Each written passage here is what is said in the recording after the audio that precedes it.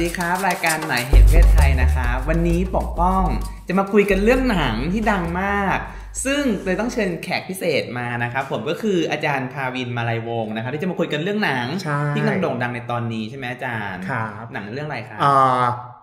จริงๆแล้ววันนี้เราสองคนอืม ควรจะแบบว่าเอาผ้า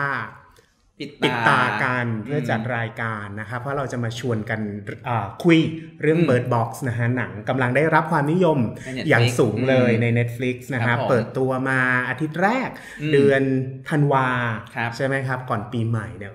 อาทิตย์แรกนี่แบบว่าคนดูถล่มทลายเลยครับผมอืมมันติดจริงนะอาจารย์ใช่ Netflix เนี่ยแต่ว่าเราต้องเตือนท่านผู้ชมก่อนนะ ว่าวันนี้เราจะมี spoil spoil หนังอืมกันละนะครับ ปกป้องได้ดูแล้ว ดูแล้วชอิอบนไหมมากขนาดดูเขาไปปิดตาไปด้วยลุ้น ไม่เข้าออกจากบ้านนะ ตอนแรกดูเสร็จปุ๊บจะเดินกลับมาอุ๊ยเออไม่ได้นี่หว่าอ๋อเออลืมไปไม่เกี่ยวกัต้นองออกมาจากรายการนะครับอืมผมครับ ซึ่ง Netflix เนี่ย มันเป็นนวัตกรรมใหม่มากๆที่เราสามารถดูดูแบบดูหนังดูอะไรได้หมดเลย แล้วมันก็ใช่เสียเวลาทำมาหากินมากใช่การแบบใช่เปิดนู่นเปิดนี่แล้วก็ได้ดู Bird Box ด้วย แล้วก็สิ่งที่ประทับใจมากอาจารย์ก่อนอื่นก่อนพูดถึงเรื่องหนังเลยก็คือ Sandra Bullock นะครับผมที่เราจะจำภาพในเรื่องของแบบ practical magic ได้เล่นกับ Nicole Kidman อย่างนี้ หรือว่าก็เรื่องแบบอ่า Miss Congeniality ครับที่อินมาก นางไม่เปลี่ยนเลยหน้าใช่ยังเด็กฮะหน้าเหมือนเดิมยาวัเลยนะแล้วฮะก็อืมจริง ๆ แล้วแบบว่าแซนดราบูล็อกอืมก็คือเขาเคย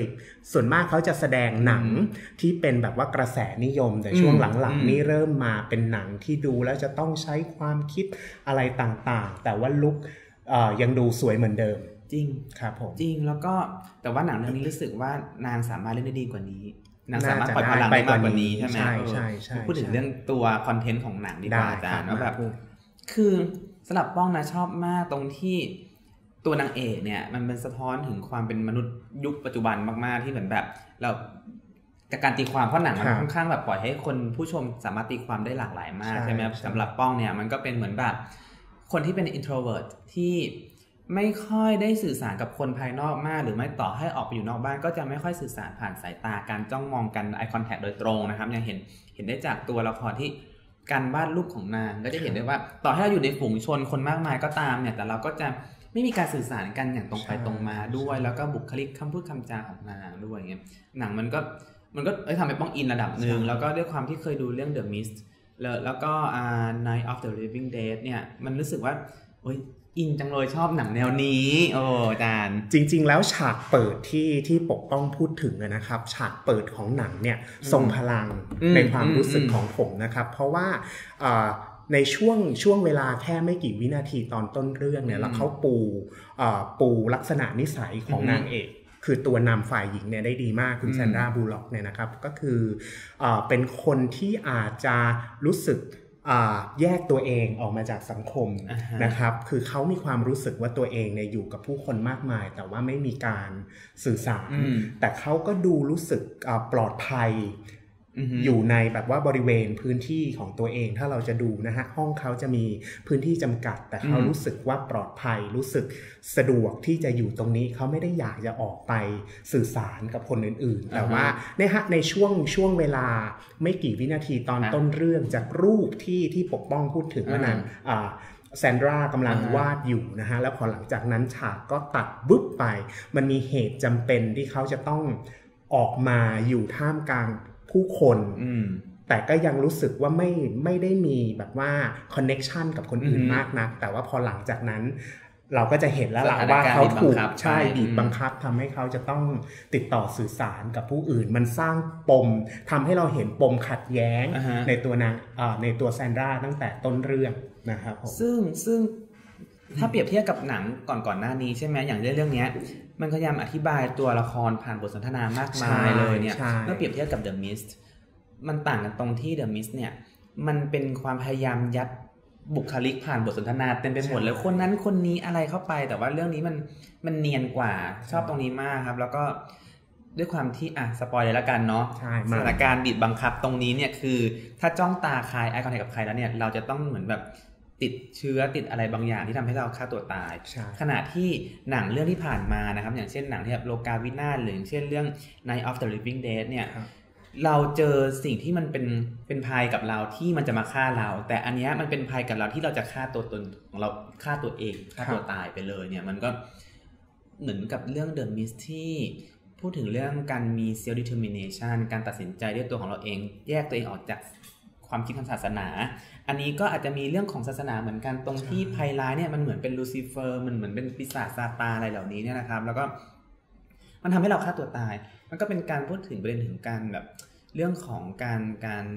การฆ่าตัวตายด้วยอะที่ที่การฆ่าตัวตายมันถูกมองว่าเป็นบาปทางศาสนา แต่ว่าในโลกปัจจุบันอาจจะมองว่ามันเป็นเรื่องของอำนาจในการตัดสินใจของเจ้าของเนื้อตัวร่างกายของเราเองด้วยเนี่ยมันก็ มีเรื่องของศาสนามาเกี่ยวซึ่งน่าสนใจ ก็ก็เดี๋ยวต้องบอกปกป้องก่อนนะฮะว่าส่วนตัวเนี่ยชอบหนังเรื่องนี้คือทั้งชอบทั้งไม่ชอบ แต่ว่ามีเหตุผลที่จะชอบมากกว่า และหนึ่งในเหตุผลที่ที่ทำให้ชอบหนังเรื่องเนี้ยเพราะว่าเขาเขาใช้เมตาฟอร์การเปรียบเปรยอย่างอย่างไอ้ภัยคุกคามที่ว่าเนี่ยนะฮะ เขาไม่ได้ไม่ได้ไม่ได้ให้ภาพเราชัดเจนว่าภัยคุกคามที่ทำให้คนต้องฆ่าตัวตายเนี่ยคืออะไร แต่ทำให้มีเขาเรียกว่าอะไรล่ะครับ ภาพเนี่ยเราเห็นเงาของภัยคุกคามอันเนี้ยเห็นว่ามันมีมวลเวลาเขาเคลื่อนไหวเนี่ยมีมวลที่ขยับทำให้เห็น แต่ว่าผู้กำกับไม่ได้ไม่ได้ใช้ รูปธรรมที่ชัดเจน แต่ให้เห็นว่ามันมีภัยคุกคามอะไร บางอย่างเคลื่อนที่เข้ามา หรือคอยที่แบบว่าดูเราอยู่นะครับ แต่การที่เขาไม่ใช้รูปธรรม ใช้คนสื่อออกมาเป็นรูปธรรมเนี่ย มันทำให้เราตีความได้หลากหลายชอบมากเลย แล้วก็คือหนึ่งในการตีความที่ว่าเนี่ยก็คือเป็นเรื่องของศาสนาได้ เราตีความว่าภัยคุกคามเนี่ยเป็นสื่อโซเชียลมีเดียได้ เราตีความว่าภัยคุกคามที่ว่าเนี่ยคือภัยคุกคามที่คุณพ่อคุณแม่ที่เลี้ยงเลี้ยงลูกในปัจจุบันต้องเผชิญ ภัยคุกคามที่ว่าเนี่ยอาจจะเป็นเรื่องเหยียดสีผิวอะไรก็ได้ พอเขาไม่ได้ไม่ได้ถ่ายทอดเป็นรูปธรรมที่ชัดชัดเจน มันเอื้อให้เราตีความได้หลากหลายมาก แล้วเรื่องของศาสนาก็เป็นหนึ่งในนั้นครับปกป้องใช่ นอกจากศาสนามีอะไรบ้างจ๊ะคือส่วนตัวเนี่ยนะครับมองมองเรื่องนี้ว่าว่าเป็น เป็นการเปรียบเปรยของการเลี้ยงลูกในในสังคมปัจจุบันว่ามันมีภัยคุกคามอะไรบางอย่าง เข้ามานะครับ ส่วนตัวมองว่าภัยคุกคามเนี่ยไม่ได้มาจากนอกโลกอย่างเรื่องอื่น ซึ่งซึ่งชอบตรงนี้เขาเอาความกลัวภายในตัวมนุษย์ภายในตัวบุคคลเนี่ย เอามาแสดงให้เป็นให้เป็นรูปร่างอย่างที่บอกเมื่อกี้เนี่ยนะครับ แล้วก็อีกอันหนึ่งที่ ที่ที่ชอบในเรื่องนี้ก็คือเขาทำให้เรื่องการชนิดของหนังอะมันเป็นหนังสยองขวัญหลังวันสิ้นโลกนะครับ เพราะฉะนั้นเขาเหมือนกับว่าทำให้เรื่องการเลี้ยงลูก ซึ่งเรารู้ว่าคุณพ่อคุณแม่สมสมัยปัจจุบันเนี่ยเวลาเลี้ยงลูกเนี่ยเขามีความกังวลหลาย ๆ อย่าง แต่เราไม่นึกว่ามันจะแบบยิ่งใหญ่น่ากลัว เหมือนแบบเนี้ยพอเอาใช่พอพอเอาหนังมาเป็นแบบว่าประเภทหนังสยองขวัญหลังวันสิ้นโลกเนี่ยทำให้เราเห็นว่า เฮ้ยมันน่ากลัวมากขนาดนั้น และไอ้ภัยคุกคามที่ว่าที่เขาต้องปิดตาเนี่ยใช่ไหมครับเหมือนเหมือนกับตัวแซนดราบูล็อกเองที่ตอนต้นเรื่องเราคุยกันว่าเขาไม่อยาก ไม่อยากจะสื่อสารกับคนอื่น แต่ว่าพอตั้งครรภ์เนี่ยสถานการณ์บังคับทำให้เขาต้องสื่อสารกับคนอื่น และเขากังวลหลายอย่างเหมือนกับคนที่เพิ่งมีลูกเขาไม่รู้ว่าจะเลี้ยงลูกอะไรยังไงจัดการอะไรยังไง เพราะฉะนั้นมันเหมือนกับว่าเขาเขาเขามองไม่เห็นแต่ว่าในขณะเดียวกันเนี่ยไอ้ภัยคุกคามเนี่ยมันไม่ได้เกิดขึ้น เพราะว่าจินตนาการมันมีอยู่จริงเราเห็นเป็นรูปเป็นร่าง แต่เราไม่รู้ว่ามันมีอะไรบ้าง คืออย่างต้องดูแบบอะพอลูกเกิดออกมาปุ๊บพอฉากมันตัดไปลูกเกิดมาปุ๊บเนี่ยจะต้องเลี้ยงยังไง จะต้องมีคอยสายคอยจูงปิดตาสอนให้ลูกว่าต้องฝึกฟังเสียงนะ อะไรอย่างนี้แทนการใช้สายตามก็เลยทำให้เห็นว่าเออการเลี้ยงลูกในอีกบริบทสิ่งแวดล้อมหนึ่งมันมันเปลี่ยนไปแล้วก็จะอยู่ยังไงให้มนุษยชาติอยู่รอดผ่านการเลี้ยงลูกได้นะครับ เดี๋ยว ให้เบรกสักนิดนึงก่อนดีกว่าอาจารย์เพราะจะมีหลายแง่มุมต่างๆ จากหนังเรื่องนี้เนาะแล้วเดี๋ยวมาคุยกันต่อนะครับ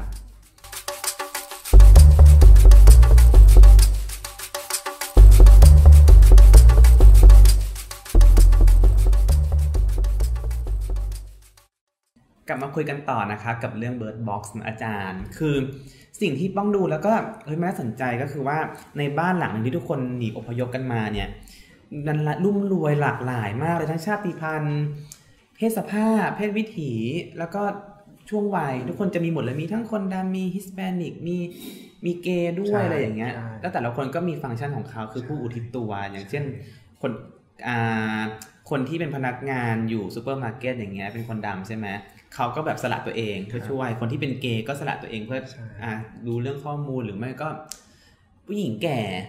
ก็พร้อมที่จะช่วยเหลืออะไรอย่างเงี้ยครับมันก็มีการช่วยเหลือเกื้อกูลกัน ซึ่งมันเป็นเทรนด์มั้งอย่างเช่น อย่างเงี้ยทำให้ป้อนนึกถึง MV ของ d o n n a Ghost Town ที่เหมือนแบบมีทั้งแบบคนเอเชีย มีทั้งคนดำมีทั้งคนขาวรวมกัน แล้วก็อยู่ภายใต้หลังวันสิ้นโลกอะไรอย่างเงี้ยเออก็คือจริง ๆ แล้วหนังบริบทของหนังเรื่องนี้เนาะถูกผลิตขึ้นในยุคของประธานาธิบดีโดนัลด์ทรัมป์เพราะฉะนั้นเรื่อง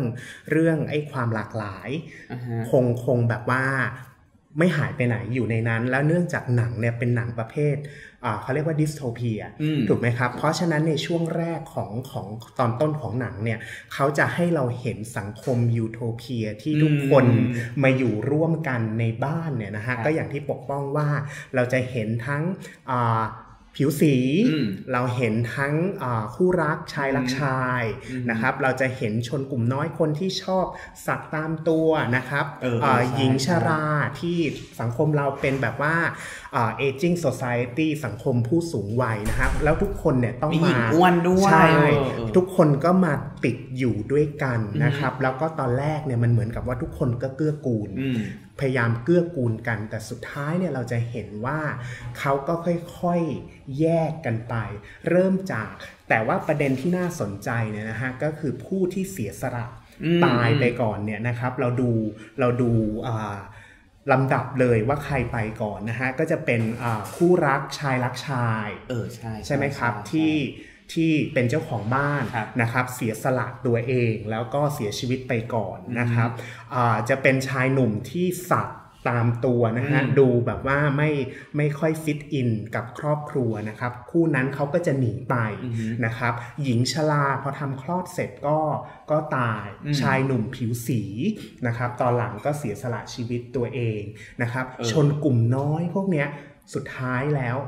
เสียสละชีวิตตัวเอง เพื่อให้นางเอกที่เป็นผู้หญิงผิวขาวอออยู่ ซึ่งอันนี้ก็ก็เป็นเป็นประเด็นน่าสนใจว่าทำไมชนกลุ่มน้อยจะต้องแบบว่าเสียสละให้กับผู้หญิงผิวขาว เป็นเป็นตัวเอกของเรื่องเหมือนละครเหมือนหนังโรคจิตทั้งหลายที่แบบสุดท้ายแล้วคนที่แบบ ตัวที่แบบสลัดมากๆก็ตายก่อน หรือไม่ก็คนที่เป็นคนเป็นแอฟริกันอเมริกันก็ตั้งตายก่อนเสมอเลยอย่างเงี้ยแล้วก็เหตุผลอีกอันหนึ่งที่ผมที่ผมคิดว่าแบบว่า ใช่เขาเขาดึงเอาชนกลุ่มน้อยต่างๆ มามีบทบาทในหนังเรื่องเรื่องนี้นะครับ แต่ว่าอันหนึ่งที่รบกวนจิตใจมาก ดูแล้วไม่ชอบเลยก็คือการที่ให้คนที่มีปัญหาสุขภาพจิตเป็นตัวร้าย คือหนังมันฟอร์ฟอร์มูล่ามันก็ชัดเจนนะฮะมีมีแบบว่า ตัวดีกับตัวร้าย แล้วตัวร้ายเนี่ยบังเอิญเขาให้คนที่มีปัญหาสุขภาพจิต รับบทนั้นคือถ้าเราดูหนังเนี่ยนะฮะไอ้ภัยคุกคามที่เราพูดกันถึงในเบรกแรกจะไม่จะไม่รุกล้ำไม่ล่วงล้ำเข้ามาในบ้านจะคอยสังเกตการอยู่ข้างนอก แต่คนที่รุกล้ำเข้ามาเนี่ยก็คือคนที่เป็นมีปัญหาสุขภาพจิตที่มองไอ้ภัยคุกคามที่ว่าเนี่ยแล้วไม่ไม่เกิดอะไรขึ้นใช่ไหมครับ ก็คือสุดท้ายเนี่ยมัน ก็มีบางคนที่บอกว่าหนังเรื่องนี้ช่วยสร้างความตระหนักรู้ให้กับเรื่องปัญหาสุขภาพจิต แต่จริง ๆ แล้วผมไม่แน่ใจว่าการตระหนักรู้ที่ว่าเนี่ยมัน มันดีหรือไม่ดี เพราะสุดท้ายเราบอกเขาว่าเขาเป็นตัวร้าย ที่ทำให้ทุกอย่างมันมันพังทลายคอยหลอกล่อคอยใช้อาวุธให้ให้ต้องให้ต้องเปิดตาให้เห็นเลยแต่ถ้าเราดูหนังเรื่องนี้ในบริบทอันแรกที่ผมพูดถึงว่าคุณพ่อคุณแม่ ที่กำลังเลี้ยงลูก แล้วมันมีความกลัวอะไรบางอย่างที่เราไม่สามารถอธิบายได้ ถ้าดูในบริบทของสังคมปัจจุบันเนี่ยมันก็ มันก็เข้าใจได้อยู่ว่าเวลาคุณพ่อคุณแม่เลี้ยงลูก อย่างหนึ่งที่เขากลัวมากๆก็คือ คือเวลาลูกมีปัญหาเกี่ยวกับสุขภาพจิตเนี่ยเขาไม่รู้คือถ้าเรามองในแง่นั้นนะฮะเขาไม่รู้ว่าจะจัดการอย่างไร เขาไม่รู้จะรับมืออย่างไร เวลาคุณพ่อคุณแม่ที่มีลูกที่ประสบปัญหาอย่างโรคซึมเศร้าอย่างเงี้ย มันเหมือนกับว่าเขาปิดตา เขารู้ว่าปัญหาที่ว่าเนี่ยมันมีอยู่จริงอ่าฮะแต่เขาไม่รู้จะจัดการยังไง เพราะฉะนั้นในเรื่องที่การให้คนที่มีปัญหาสุขภาพจิตเป็นตัวร้ายเนี่ย ก็มองได้ทั้งสองแง่ปกป้องคือได้ทั้งดีทั้งไม่ไม่ดี คือป้องอะ ดูแล้วก็กลายเป็นว่าหนังเรื่องเนี้ย คนที่จะอยู่เอาตัวรอดในสังคมได้คือโอเคใช่คนที่มีปัญหาทางสายตาใช่กับคนที่แบบมีปัญหาทางจิตที่ในโลกแห่งความเป็นจริงอะคือแบบ มันมันอันตรายมากแต่เขาสามารถมองความสวยงามของมันได้อย่างเงี้ยมันก็เขาทำให้เขาสามารถอยู่รอดได้ในโลกที่มันอยู่ไม่ได้อะไรอย่างเงี้ยใช่ก็เออมันก็น่าสนุกเหมือนกันอะไรอย่างเงี้ยแล้วก็ขณะเดียวกันอาจารย์คือไอ้ตัวสิ่งที่มองไม่เห็นเหล่านี้เนี่ย แต่มันมีเงา มันมีอิทธิพลทางทางสิ่งแวดล้อมต่าง ๆ มากมายเนี่ย แต่ว่าเราก็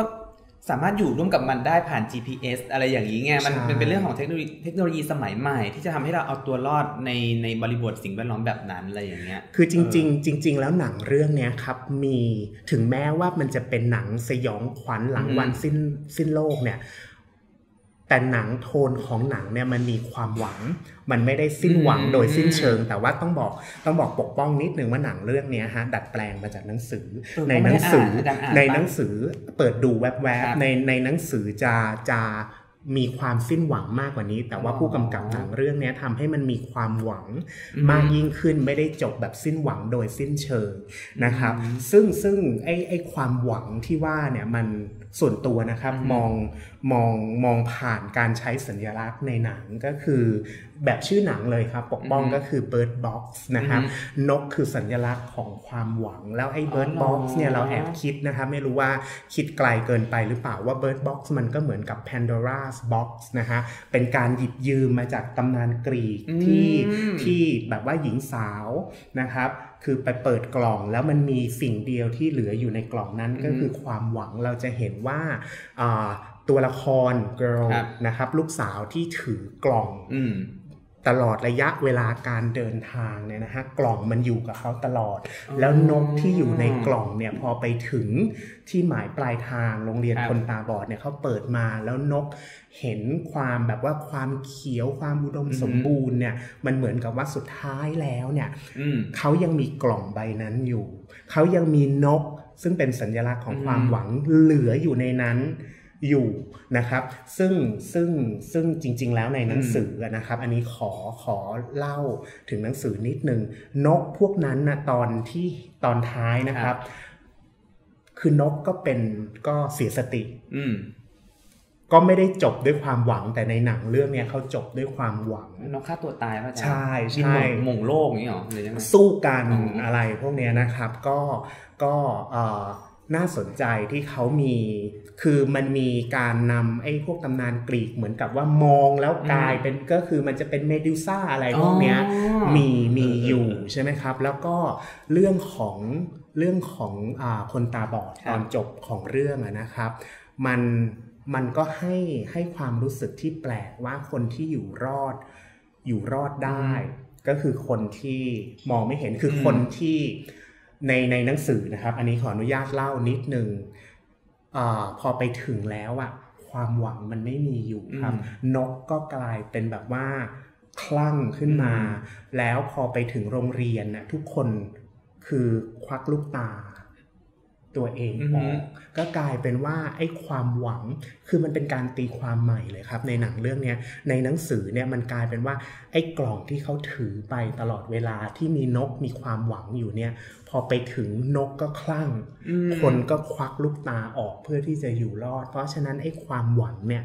มันแทบไม่มีเหลืออยู่เลย มันเป็นแบบว่าหดหู่โลกหดหู่ค่อนข้างหดหู่แต่ทีนี้เข้าใจว่าผู้กำกับไม่อยากจบ เขาถ้าดูหนังย้อนไปครับเขาเป็นคนที่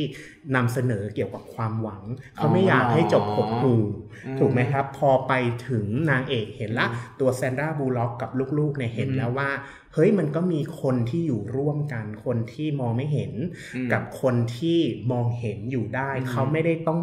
ถูกบังคับให้ควักลูกตาออกมา นกอืมที่อยู่ในกล่องเนี่ยพอเปิดมาแล้วยังเห็นความเขียวชอุ่มอุดมสมบูรณ์อืมก็จบด้วยด้วยความหวัง อ๋อเหรอที่ป้องเข้าใจตอนจบนะอาจารย์คือเหมือนแบบว่า มันเสียสติกันไปหมดแล้วทั้งใช่ ทั้งอีตัวซันดราเนี่ยเสียสติแล้วก็เหมือนแบบไปอยู่ในพื้นที่ตรงนั้นเนี่ยต้องคิดสองอย่างคือนางอสิสติแล้วก็บอกให้ลูกเปิดตาออก เพราะว่านางก็เห็นโลกของความสวยงาม เพราะว่าเพราะมันดูเป็นโลกยูโทเปียมากๆในในในโรงเรียนคนตาบอดตรงนั้นเนี่ยเหมือนกับว่านางก็กลายเป็นส่วนหนึ่งของซาตานโลกของซาตานไป แล้วก็ประการที่2นะครับที่นึกถึงอาจารย์ก็คือว่าทุกคนอยู่ก็กลายเป็นนกอยู่ในกล่องเป็น Bird Box เหมือนกันตรงที่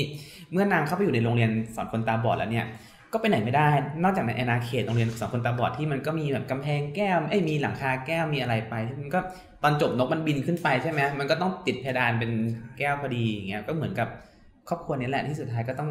หลาย ๆ ครอบครัวด้วยหลายคนที่อยู่กันในพื้นที่จำกัดนะครับ ก็มันก็เป็นหนังที่ จะเศร้าก็เศร้าเนาะจะสุขตอนจบก็สุขเหมือนกันก็แบบโอเครู้สึกโล่งอกแต่ว่า มันก็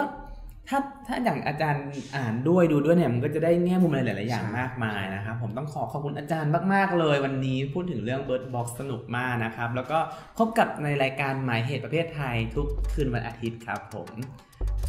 สวัสดีครับ สวัสดีครับ